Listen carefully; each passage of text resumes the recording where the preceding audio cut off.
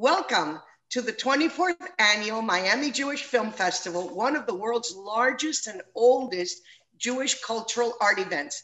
We want to thank all of our members, sponsors, community partners, volunteers, and especially all of you film lovers and presenting sponsors, the Center for the Advantage, Advancement of Jewish Education, SAGE, and the Greater Miami Jewish Federation for their continued support throughout all of these years. My name is Genie Milgrom, and I am a direct descendant of the crypto Jews of Portugal. So I am especially excited to be moderating a virtual conversation with producer Dara Jeffries and Dr. Michael Rothwell. And just a little background, um, Dr. Michael Rothwell is an active member of the community of Porto, and he has dual Portuguese British nationalities. He has been on the board in the community since 1995 and has lived in Portugal for several decades. Lucky you. Always in the city of Oporto. And uh, Dara Jeffries is an attorney at White and Case. Dara and her family are currently based in Miami with very strong ties to Portugal, where she grew up. She is the chairman of the supervisory board of the Jewish community of Porto, of which she has been a member since she was a child. So this is very, very personal to you. So thank you all for joining us. Dara, thank you for being with us today. Thank you, Genie. So I'd like to um, uh, say, and Dr. Rothwell wasn't here with us last time, but I, it was an honor for me to interview you when you were here a couple of years ago with uh, the movie Sepharad. This particular movie I thought was excellent. My own family in 1618 was being hunted by the Inquisition in Coimbra, just down the street. So for me to, to watch this, it stirred in me incredible amounts of emotions because I had followed uh, I had followed their footsteps and, and I even wrote a book about when they were there. So I researched it historically and um, it, it, it's just really stirred a lot of emotion. So I'd like to know if you could tell us a little bit about yourselves and, uh, and where you're from originally and how you got involved in doing this. Well, um, as you mentioned, I, I, grew up in Portugal, and so I've always been involved in the community. Um, and the, the community of Porto has uh, a mission really of promoting Jewish culture and education and outreach to the wider community. Uh, we provide training for teachers. We have thousands of students that visit, and we really try and you know take away some of the mystery about Judaism. And so the movie uh, is part of that mission. It's part of four films, actually. You mentioned Sepharad. Uh, we also did a, another small short film that was very much appreciated called The Nun's Kaddish. Um, and we also did another one called Light of Judah. And the proceeds of that movie were actually sent to food banks in Israel and Portugal. And it was part of a cultural outreach that we did together with um, and, and charitable mission that we did with the Catholic Church uh, the Diocese of Porto. So, in fact, interestingly enough, the Diocese of Porto, the Catholic Church, has actually worked very closely uh, with us um, in in the film and in and in promoting it and so on. So, so I guess the idea behind it was, uh, as I said, part of the education mission of telling the story. Sepharad was really just a little snapshot and very focused on our own community and it felt like there was a big gap in the story there. And so we felt that this was a really important part of the story that needed to be told and hadn't really been told before. So it, it, it made for a really good, good focus of a film. So, so that's why we did that. Wonderful. And Dr. Rothwell, can you tell us a little bit about yourself and your involvement in this? Well, Gina, first of all, thank you very much for uh, inviting us to uh, this um, session. It's a great pleasure to um, tell the festival a, a, bit about our film and, and consequently about our community and about Portugal and Sepharad. Um, as you mentioned, I, am British by origin. I was born in Manchester. and uh, then uh, much later on came to live in, in Portugal. And I've lived, uh, as you said, in Oporto for several decades. During that time, I've been a member of the Jewish community of Oporto, which has witnessed a, a spectacular um, uh, resurgence and a lot of that's got to do with um, reconnecting to the Sephardic world um, th uh, through the law of the law of return. As you know, the Portuguese law of return has brought us in contact with the Sephardic world. As, and independently of this, we, we've made a point of researching our, our uh, community's history. And um, there are a number of stories that had not been told. Um, the whole story of the Sepharad in the of our community in the 20th century uh, was, was well researched and of course documented in the film Sepharad. And one particular episode of that film was the, the reception of the, uh, the Jewish refugees from Nazi Germany and, and Nazi occupation. And that has led to actually the opening of a, a new museum that uh, alluded to. The, besides our Jewish museum, we now have a new Holocaust museum in Oporto, which is uh, um, again, as you can imagine, a lot of attention in Portugal. And as Dara said, this is all part of, um, on the one hand, we're in a unique position to tell certain stories which are not known, the stories told in Sepharad, also the stories regarding the, the this particular uh, role that Oporto, the Oporto community played in the, in the rescuing and the looking after uh, refugees, which is told in the film Sepharad, but in a lot more detail and documented in the new museum.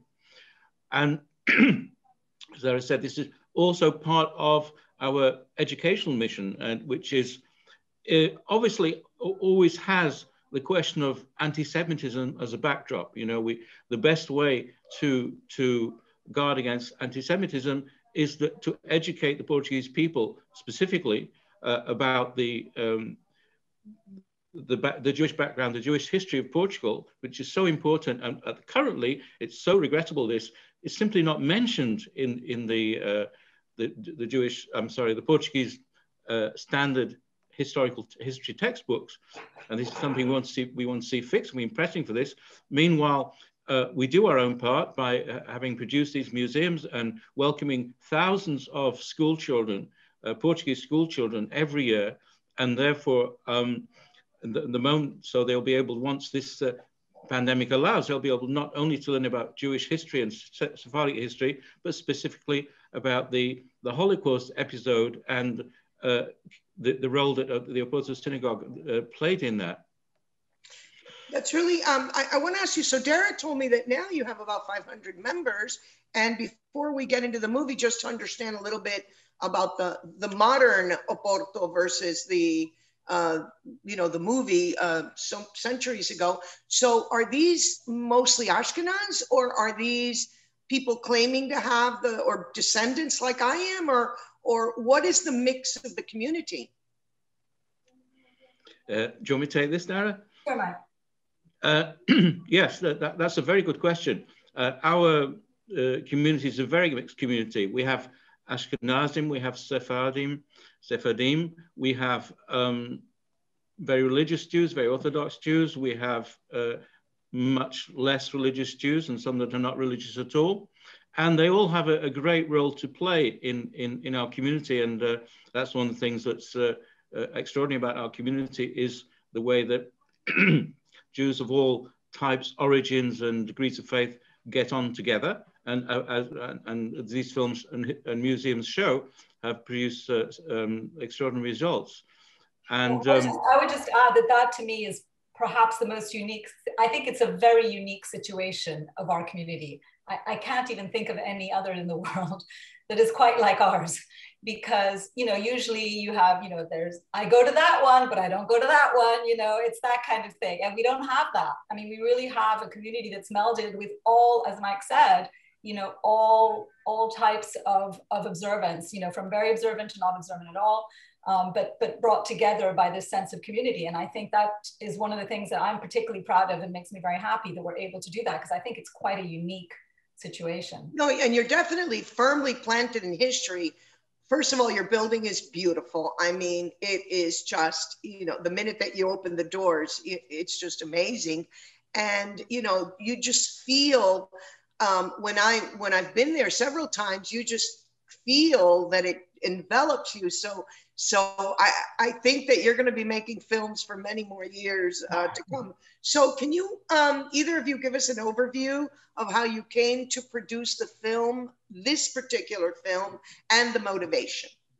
I'm, I'm sorry, Gina, I, I didn't actually answer your previous question, which is about the, the, the, mix of um, uh, the current mix of our community. Uh, I've explained it's mixed with everybody, but it, it, it, before this resurgence started, the community was a mixture of Ashkenazi and Sephardic Jews, but probably um, a slight majority of Ashkenazi Jews.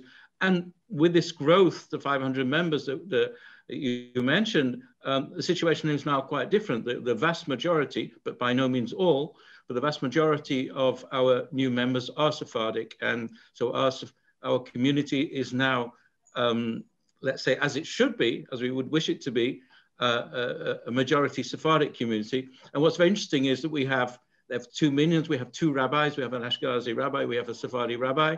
And uh, it's got to the point where in, in the uh, high uh, festivals, the uh, Rosh Hashanah and Yom Kippur. So we have um, uh, separate minyans. We have we had to create a small prayer room downstairs for the Ashkenazi minyan and the main prayer room for the Sephardi minyan. So that's uh, where we stand right now. So that's to answer your your question. And we of course think it's wonderful to have that Sephardic heritage back in uh, in a very living way in our community.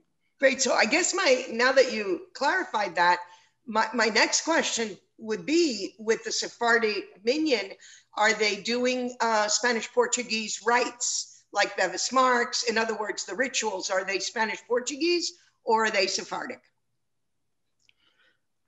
so uh, that's a very good question. Uh, they're, they're mostly Sephardic, um, using Sephardic right uh, rather than uh, the the Beis Bismarck type one, they're, they're a small, a sm smaller minority. So most, most of our Sephardic members have um, not, let me say this, either they descended from people who uh, left um, Portugal right at the time of the expulsion, or if, uh, and some others are left later on, uh, but then joined um, uh, traditional Sephardic uh, congregations. That's interesting. Uh, when people ask me what I consider myself, because I was born Catholic, I returned uh, 35 years ago, and I've been practicing since, I consider myself a Spanish Portuguese Jew. I don't really consider myself, and more so, I consider myself a Portuguese Jew, uh, because um, like the people in your film, I descend from exactly people that were doing that, selling and so on. And, and we were kind of frozen in time. So we didn't have that whole Sephardic history. We became frozen as Portuguese Jews. And then we kind of woke up, you know, 600 years later. So um, that's always been fascinating to me. Um, that I've never been able to identify uh, personally with Sephardic Jews. And a lot of people don't, it's a very subtle difference, but um, there definitely is a difference with that. Um, so tell me the overview and how you came to produce this.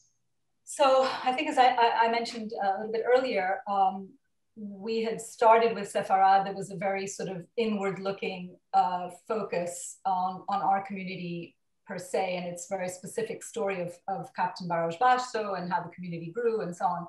And it was obvious that, that there was a, important to tell the background and, and what had happened in Portugal because the Inquisition is so unique to Portugal and Spain, and that that was uh, and and usually people associate the Inquisition with Spain. They don't really realize that there was an Inquisition in Portugal too. And uh, you know, I would say that if you ask anybody about the Inquisition, they would never think, "Oh, Portugal." No, they think the Spanish Inquisition, but it was in, in Portugal also. And, um, and in fact, it only ended in the 19th century. The, if you can imagine, the Inquisition was only officially ended in the 19th century. So that's really an incredibly big part of history when this went on. Um, and Porto is a very unique place in many ways. And of course, you know that and you've been there. And uh, we're very proud of, of how Jews have always had really good relations with their neighbors uh, particularly in Porto. I mean, uh, Jews in Portugal in general, but uh, Porto in particular. And, and that's kind of what the movie wants to, to do, because again, as we were mentioning earlier, it, it's part of our mission to try and, and foster a good image of Judaism, foster a good image and good relations with, uh, with our Catholic and, and, and, and Muslim friends as well.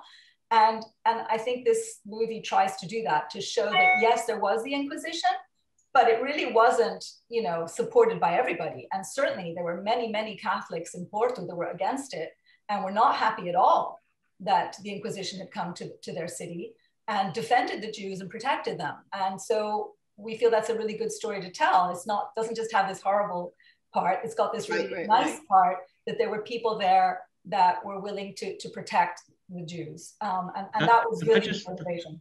Can I just take up what Dara said? That the, that's really important. That uh, although you know Portugal is part of Sepharad, um, Portugal is special, and we think that Oporto is even more special because of the particular uh, attitude that the, the, the, the, citizens, the, the city authorities, and even the church took.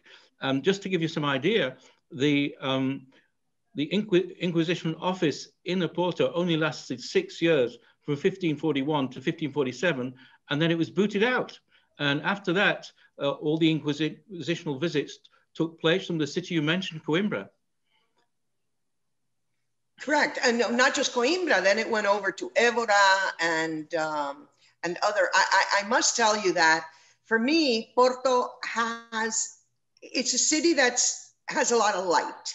It's a city that from the minute you drive in, you feel the light. And I don't know if it's light from the people. I don't know if it's light, but the minute that you start driving into Coimbra, and maybe it's because I know, and when you know, you know, but the minute you drive into Coimbra, I feel like it's a dark shroud and I like my throat tightens until I leave Coimbra.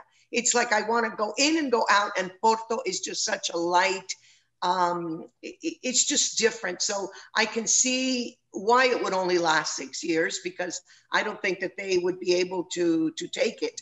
Um, was this based? Uh, this movie, 1618, was it based on a particular family true story? Uh, would you like to say that? Sure, Mike, go ahead. Well, um, before, uh, rather Dara mentioned before, that the previous film that we, we mentioned, that we made, was focused mostly on our, our own community, the 20th century history, but you'll, everybody will remember that it actually starts with the expulsion of the Jews, a very, very, very powerful scenes of uh, you know, almost violence against the Jews after the signing of the expulsion edict. But then the, the and, and the, the movie does show um, peaceful scenes in Oporto before that happened. And I'd just like to mention something I didn't say earlier on, which is why Oporto is like that. And uh, the, the, the, reason is basically because um, it's a city of workers, of, of merchants, of very pragmatic people. And the, the city of Oporto, therefore, was never interested in, in the religious fanatical ideas of the capital. And that's what, and that's been a, a characteristic of Oporto all through history. And, and that's why uh, kicked out the Inquisition. And the Oporto citizens, many of whom were also merchants, would protect the, the, the, the, the fellow Jews. So getting back to, to the question, so we made this film which starts with these peaceful scenes of coexistence with Jews in uh, the, the, end of the, the 15th century, at the time of, of the sudden signing of the edict and the expulsion. And then the, full, the film, as you know, fasts forward to the 20th century to the, to the beginnings of the modern uh, Jewish community. And obviously there's a big gap there, which we felt really needed filling. And that is the, the origin of, of, of this film. Um, and uh, of course, we've, we've uh, mentioned, we've told it through an episode that happened in our, our city of Oporto, which was a, a particular inquisitorial visit which produced uh, terrible consequences in 1618, hence the name of the film. But the, the family that it was following, that the film was following, was that based on a true or that was a collective um, a, a, collective experience for many of the families, or did you follow that one family? So, some of the characters that are in the film are are from real life, right? So the visitor himself is a real person. The bishop, Dr. Rodrigo Cunha, the president of the court, you know, many of these characters are real people. But the others are really an amalgam of, of the sort of characters that we've learned about that existed at the time and certain families that were there. So there were new Christians in Porto at the time. You know, the Alvarez and the Mocata families, these were actually families that, that were there and were very involved in philanthropy and, uh, and to this day, uh, in fact. Um, but they were not, they were more symbolic than, than real characters. I mean, there are some stories, we'll, we'll get to maybe a little bit later about that, that, that have been told, um, but it's not exactly, you know, real people. Right. Well, interesting because I think that your characters embodied the just about every experience that that the Jews were living at the time. And was there more than one inquisitorial visit, or was that 1618 the only one that happened there? Well, there were many uh, inquisitorial visits over the time. What happened was during the, the, the, the 15th century, I'm sorry, the 16th century, we're talking about the 1500s, uh, was that um, generally um, the, the, the, the, powerful Jews and the main Jews in Oporto were, able to bribe the, the, the Christians so they knew when an inquisitorial visit was going to happen and they would make themselves scarce. And this was a regular occurrence. And that's why they didn't leave the country because they managed to, I mean, many left the country during the 15th century, during the whole Inquisition, but that's why some still stayed was because they were able to somehow live with it. Uh, what, what happened uh, was different, and it's no coincidence that we're talking about a period of Portuguese history from 1580 to 1640 when Portugal was under the under Spanish rule, and so um, the, the, the, the, Spanish king of Portugal, uh, who, who, appears in the film, was at a certain point determined to be much more rigorous about these visits, and the, the, the, particular point about the, these visits about 1618 was that nobody was spared, that even the most powerful, uh, wealthy Jews had been able to protect themselves up to that point were no longer protected. And this is what led to a mass exodus of the new Christians because they, they saw that they, they, they, they had to think of the future of their families. Their families were not safe uh, anymore. And this is what, as I said, led to the, the, the, the movement to, for example, for example, to Holland and later to London, uh, to the North Portuguese, uh, North European communities. That's why uh, this particular visit was uh, marked a change in tone and led to a mass exodus of the new Christians. So when the Portuguese showed up in Amsterdam for the first time, or that it's recorded, maybe they, you know, had shown up before, it was 1596. So this took place uh, good 22 years later. Now, when they started leaving before that, was it also like having to hide and leave, or was there ever a period where they could just sail away like in 1596 or right 1600 or was it always a difficult uh, having to escape sort of thing uh, well that's a very interesting question um, at the time of the actual edict, edict of expulsion uh, so it was signed in 1496 and came into effect in 1497 um, king manuel who, was the man who signed the, the king who signed the ex expulsion order uh, made it very difficult for the Jews to, to leave because he uh, didn't uh, actually mean uh, to expel the Jews. What he did was actually, uh, he wanted to have his cake and eat it. Basically, he wanted to be able to marry the daughter of the powerful Spanish monarchs and make that alliance uh, but uh, the condition, uh, as many of you will know, was they could only marry if he signed the expulsion order. So it was not something that came from his heart. He knew how important uh, the Jewish um, members of, of, society were to Portugal, and he he his idea was that they would uh, peacefully convert to Christianity but stay. Uh, that was his attitude. Um, but of course, he was a king for only so many years, and later on, uh, you had other kings, and particularly Spanish ones, and, and uh, sons of Spanish queens who came to Portugal, and the, those uh, kings and queens took, took, it more seriously. But um, once the, the, those Jews became the ones that remained became new Christians, um, I, I I'm not absolutely sure about this historical detail, but I, I'm, as, as far as I can know, they could leave the country, but there, certainly there was a flow of new Christians uh, leaving the country during the whole of the period of the Inquisition. It was only right at the beginning that the king did everything he could to stop anybody leaving at all. Let me, let me just add two things to this.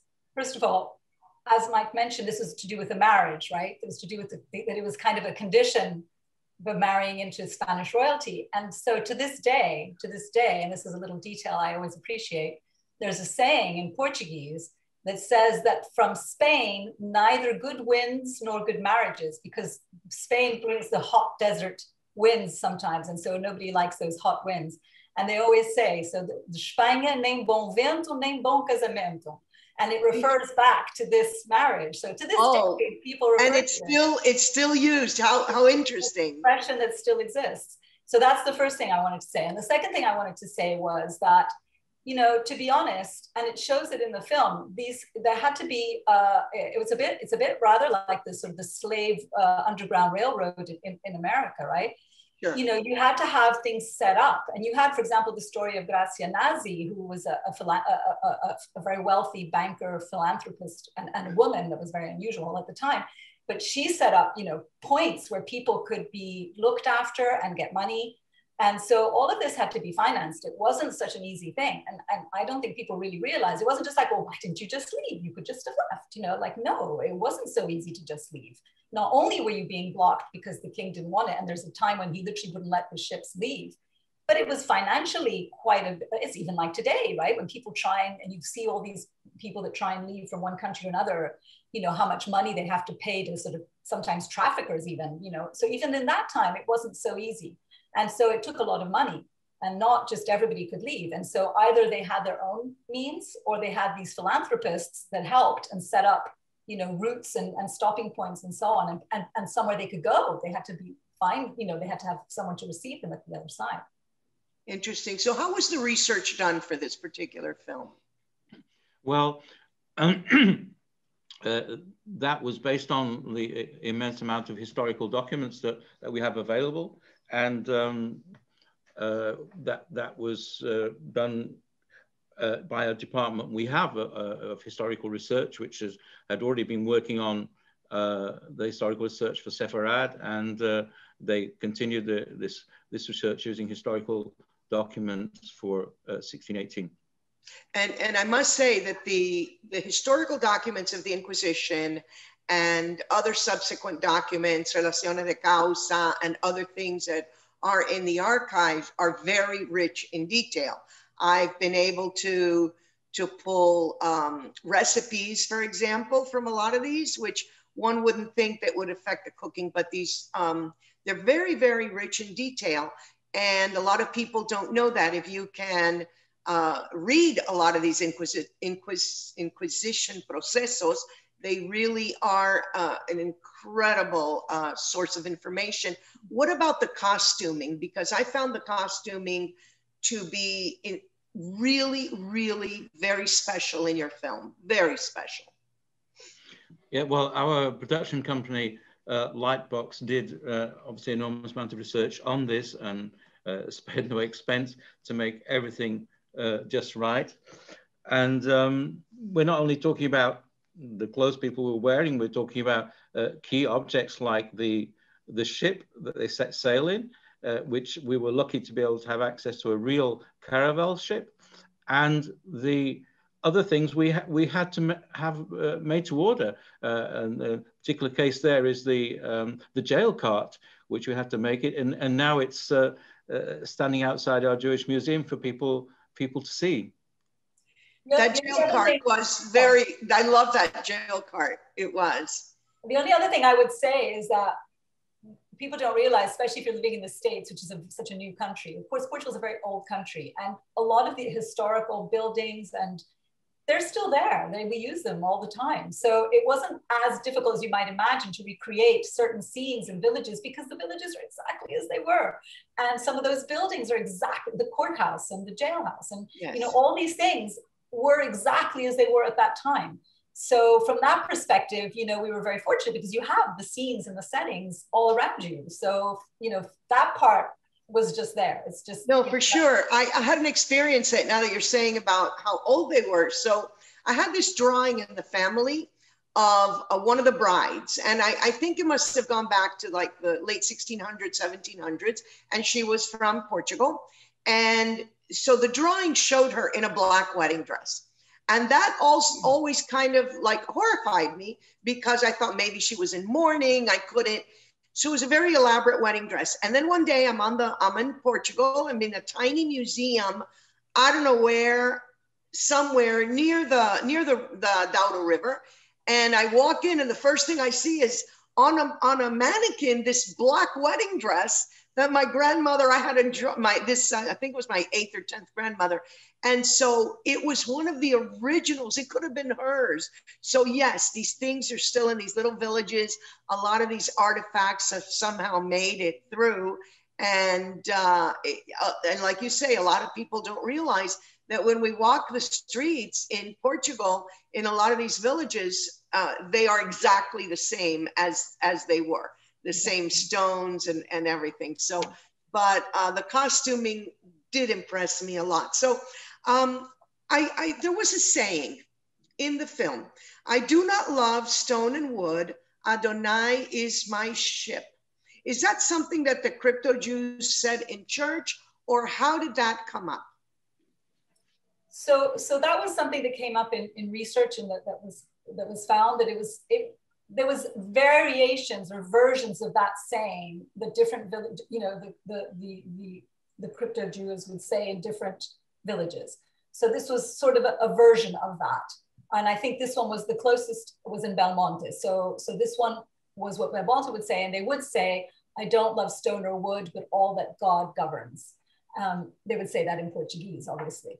And they did not say that in church. This was when they were having their, their, their own sort of prayers at, at home, their secret prayers. That was part of their ritual um, that they would say. This was not something they would say in public. This was their own sort of private prayers. Very interesting. Were you able to get um, information on the time from the community of Belmonte, um, who kept this for so many centuries, or or um, did you use? Were you able to use them at all?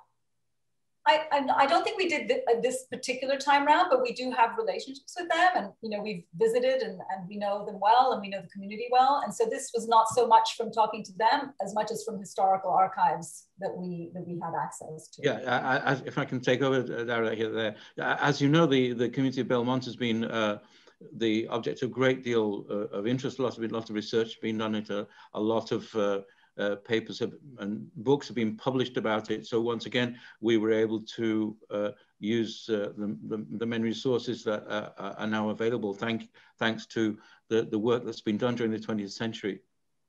I find particularly interesting um, when I've read the manuscripts that of the of the correspondence, and I have most of them here at home, that was going back and forth between London and uh, and Portugal in the 19, I think it was 1925, when they set up um, a, an institution in London to, let's say, deal with this problem. So a lot of that correspondence is, is very rich and and many people may not know that that exists, but that's available. You can get it on the internet. There's books written about it. The actual um, transcription of the correspondence going between the actual established community in London and uh, trying to figure out what was going on in, in Portugal. And I think that's the only country where we see this. Yeah, and that was part of a big focus in Sefarad, right? That whole dynamic going back and forth and how and and and and the conflict, in fact, that existed over how to deal with the situation. So we didn't so, focus on that in this film, but Sefarad does address that quite a lot. Right. So the research for the four films, because um, you, you told me that there were two other films that were done. Um, it, it, because we've seen Sefarad and, and we saw the 1618. Now, what are the names of the other two films? So the, there's one very short film called The Nun's Kaddish. And to, to be honest, it's my favorite. It's very short and I recommend it. And I think it's fairly easy to get. And actually, Nuns Kaddish was originally part of Sefarad, but Sefarad turned out to be incredibly long and, and it seemed out of place with the rest of the story, it just distracted. And it was such a beautiful little story itself that we felt it was better to just make it into its own little, little vignette. Um, and so Nuns Kaddish, which is this, a true story of a member of our community that died, and the nuns that had been taking care of him said Kaddish for him. And so again, a very ecumenical, cross religion, you know, just kind kind movie, which, which I really appreciate. Actually, the Pope really liked it. He saw it and he wrote us a letter. He liked it very much. So that's one of them. And then the fourth one is again sort of an amalgam. It's called Light of Judah, and it was it was made specifically um, pulling different pieces from the films we'd made. So it wasn't really it's a separate film per se, but it was made to be um, uh, for charitable purposes. So it was it was it was used to raise money for um, food banks in Portugal and in Israel, together with the, with the Catholic Diocese. So that was a separate little project. Um, so was the research that was done to make 1618, was your research kind of spilling over one into the other? Yeah, very much so. As I mentioned before, uh, our uh, cultural uh, research department had been working uh, had been working on the research for Sefarad. Um, continue to do research for this film. The only difference was that this, the uh, 1618 is, is although we've uh, placed it in Oporto, uh, invo involves the much uh, wider community and is not just focused on our own historical records so much. Good. So I was particularly fascinated by your character, Daniel. Um, I, I thought that that he just carried himself in such a way um, can you tell us a little bit more about the development of that character? Was he a real character in history? Or um, because he, he was fascinating. And at the end, he it was actually Daniel that that pulled the whole thing together when he got on that ship. It it, it kind of made the whole uh, crypto Jewish experience come full circle for me when he got on that ship. Well, obviously, character of Daniel is, is key. And he's not based on one particular real character, but he is a, a composite of a whole number of uh, different new Christian characters and of somebody uh, where you see this conflict between, uh, on the one hand, uh, wanting to abide by the law, but on the other hand, his, his Jewish heart uh, speaks louder.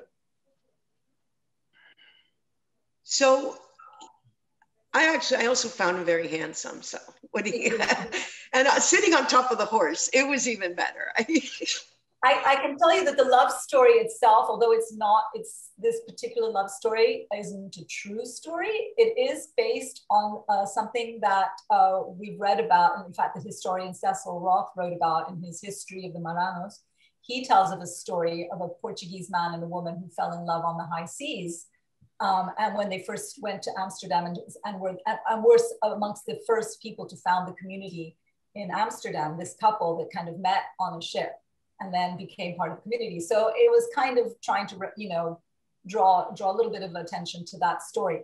It's not exactly those characters, but it is that sort of story. Right, I, I understand. And, and I loved how he kind of tied it all together. Um, so do you feel that the movie was made from the new Christian or crypto Jewish point of view, or made more from a Catholic point of view, or neutral? Yes, I would say neutral because obviously it's the viewpoint of, of ours, right? It's from the Jewish community looking back to the point in history. But I think what's important in this story, and that's as I think I referenced earlier, is to show that it's not one, you know, monolithic, there's the Catholic viewpoint. No, there was very different viewpoints, right? Because you had the Inquisition and you had that viewpoint, and then you had the Catholics and Christians that lived in, in Porto and how how they were on the side of, of the new Christians, right? So so you can't really say they were they were they were opposing viewpoints. In many ways, they they were together. And that's kind of one of the things we're trying to show that yes, there was conflict and there were people that were attacking them. And you had that that, you know, the girl that was you had the gossips and you have the people that that are you know, betraying them and so on. And you certainly had those people, but you also had a lot of people that were protecting them. So, you know, I would say it's neutral, but at the same time, trying to show that the relations were good and that, that at the time it really it, it was it, there was a positive um, interaction at the time and, and and not only that i i notice in portugal that historically the the two religions melded very much i mean one of my favorites is the the saint esther of purim that um, you know to be able to to do the fast of Purim because a lot of times the the Yom Kippur fast wasn't done. So it took the place with the fast of Esther, and then she became Saint Esther,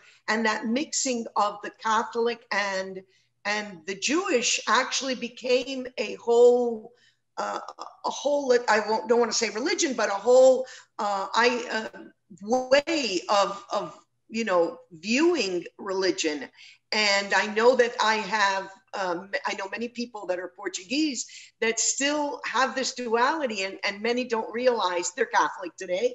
They don't realize that a lot of it comes from that. So, you just reminded me of something. And when you were mentioning earlier about the recipes, Uh, you know, as you know very well, there's a famous dish that is literally a national dish. And I am sure many people that eat it don't realize its origins, which is, of course, alheiras and alheiras is a kind of turkey or, or, or chicken sausage, and it was always garlic, very garlicky pork sausages so that the Jews could hang these in their kitchen and, and pretend, you know, and, and, you know, not give away the fact that they were Jews. The new Christians would hang these, these alheiras. But to this day, alheiras is a popular dish and it's eaten. It's not, it's not like it's something from history. No, that again, something that is literally, you can go to a restaurant and order alheiras and and I don't think people really know the history of it, but it's part of tradition, it's part of culture to this day as well. No, for sure. There's one more, I mean, that I'm aware of. I'm sure there's many. So I was lucky enough to have found Inquisition recipes in my mom's house from Spain, not from Portugal. So there's this one dish that is called in Spain, it's called hornazo. And it's like a big empanada full of meats. And um, one time I was in, in Belmonte right after one of the fasts and I saw that they were making it. And they said, Oh, this is what back in the day we used to eat as if we were in a picnic um, after we fasted. And it is still, I don't know what it's called in, in Portugal, but it was called hornazo in Spain. So I think a lot of these uh, cultural foods made their way into, into even our lives today. Um, tell me, do we have a sneak peek into your next film? that we'll be able to talk about in a year? Honestly, I I'm sad to say, but I think this is going to be it. I mean, we really feel we've told the story and what we wanted to tell. Um, you know, it, I think we've come full circle. Uh, we told, you know, the modern day story. We've told, you know, what how, the origins of the story. I mean, unless we go back to sort of the Phoenicians and the Romans, which I don't think we're going to do.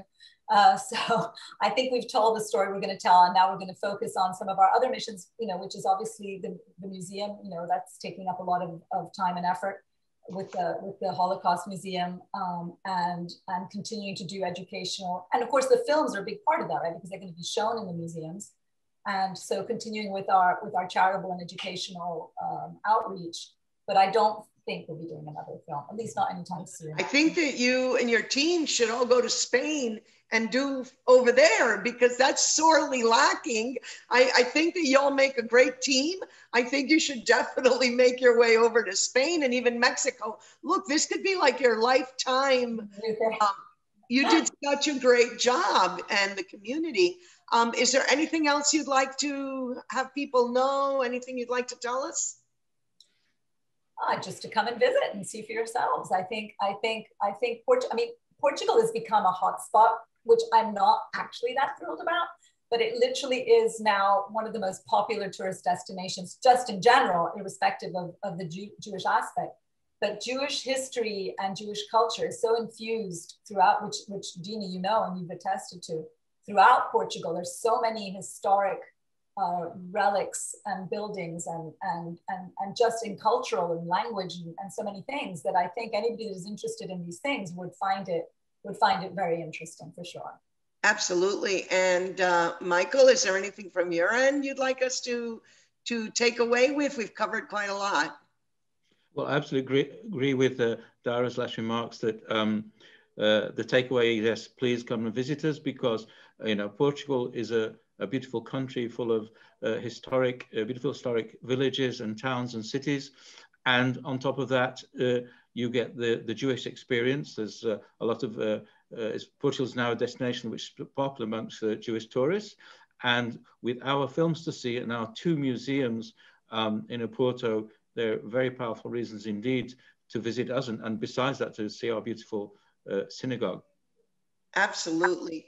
Well, um, I'd like to thank you, Dara Jeffries and Dr. Michael Rothwell of 1618 for joining us. Um, once again, we'd like to thank all of our members, sponsors, community partners, volunteers, all of you film lovers, and especially our, our presenting sponsor, the Center for the Advancement of Jewish Education, CAJE, and the Greater Miami Jewish Federation for their continued support for all of these years. And thank you especially to our audience for participating in the 24th annual Miami Jewish Film Festival. So until the next time, thank you so much. Thank you. Thanks, everybody. Thank you.